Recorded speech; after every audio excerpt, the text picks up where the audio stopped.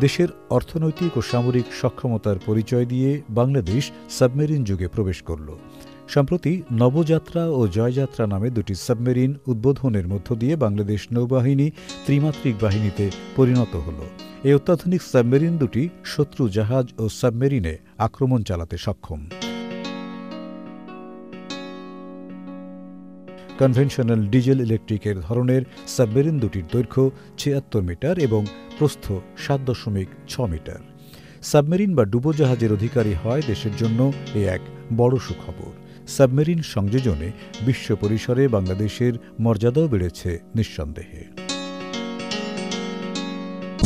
ইসলামী bank, সুখবর প্রতিদিন।